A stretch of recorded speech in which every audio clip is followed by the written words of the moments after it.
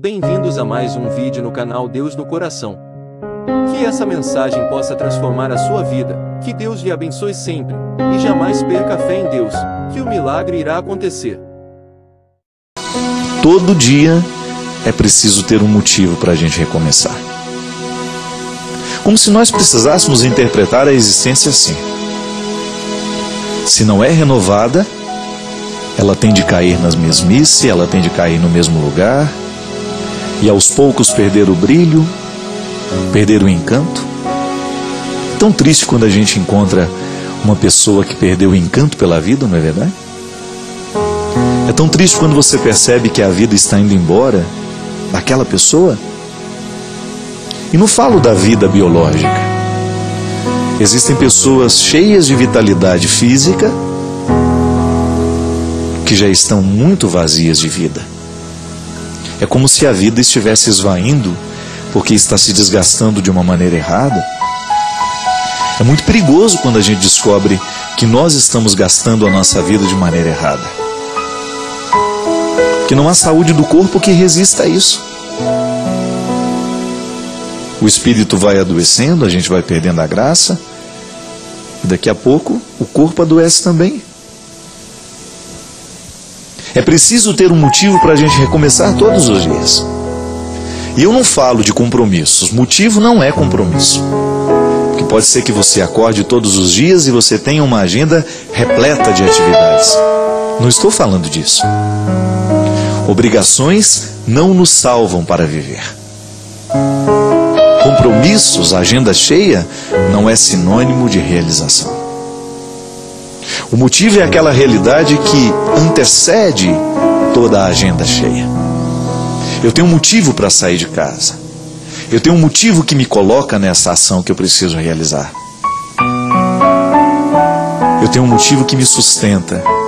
Da mesma maneira como uma barraca no deserto para poder suportar a força do vento, a velocidade que pode ameaçar a sua estabilidade, precisa de uma estaca bem fundamentada para que ela não seja sucumbida, para que ela não seja levada pela força dos ventos da noite. É assim. Toda existência para ser bem vivida, para ser bem experimentada, carece de um motivo.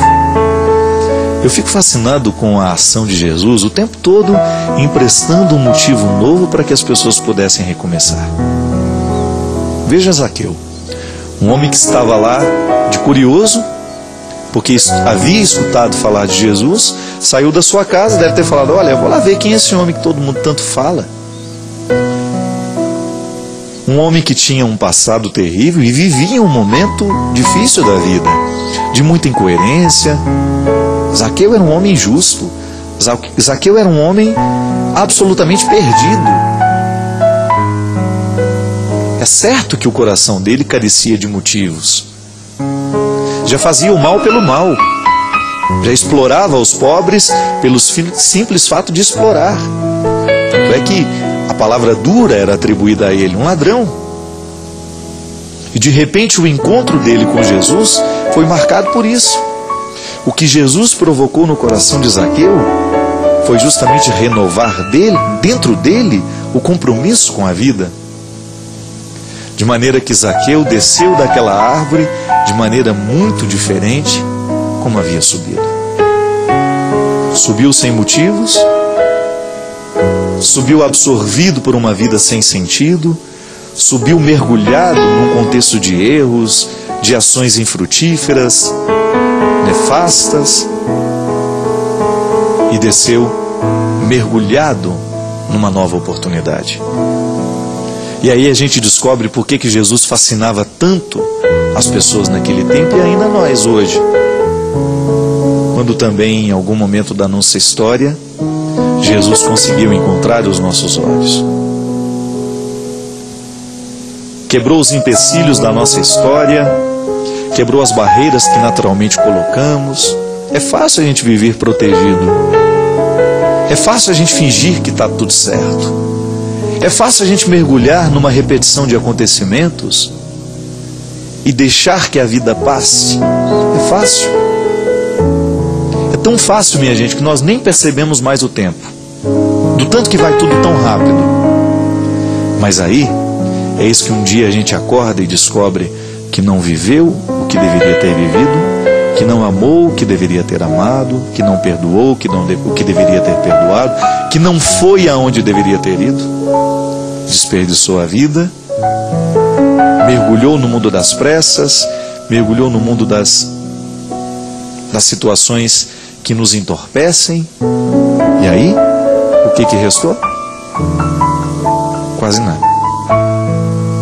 É por isso que todos os dias nós precisamos reacender diante de nós, diante de nós mesmos, essa consciência. Para que, que eu estou vivendo? É o sentido da vida. E é nessa hora que Jesus continua agindo na história, da mesma forma, da mesma maneira como agiu na vida de tantos, como na vida de Zaqueu. Emprestando a ele um motivo para recomeçar. Zaqueu, desce dessa árvore e vamos viver diferente, meu filho. Você já deve ter sido abordado muitas vezes assim pelo seu pai, pela sua mãe, pelos amigos que te amam, né? De vez em quando alguém olha para nós, pelo amor de Deus, não pode continuar assim. Não é verdade? Às vezes a gente nem gosta no primeiro momento de ouvir isso. Acorda. Pare de desperdiçar a sua vida com aquilo que não dá certo. Pare de desperdiçar a vida com sentimentos que não são nobres. Pare de desgastar a sua vida naquilo que não lhe realiza.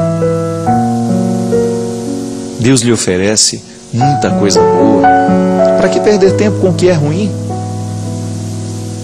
Foi a proposta que Jesus fez para Zaqueu e certamente ele pôde viver no coração dele os frutos dessa transformação maravilhosa que Jesus realizou na sua vida no momento que olhou para ele lá em cima da árvore, escondidinho no meio das folhas, um mero curioso e de curiosos passou a ser o transformado naquela tarde. Eu fico pensando que Jesus, naquele momento, deve ter transformado a vida de muita gente mas a vida que verdadeiramente chegou, é, a vida que certamente teve uma força muito grande na transformação daquela tarde, das muitas tardes que Jesus transformou muitas vidas, foi a vida de Zaqueu. Tanto é que veio para a Sagrada Escritura para que servisse de exemplo para nós também.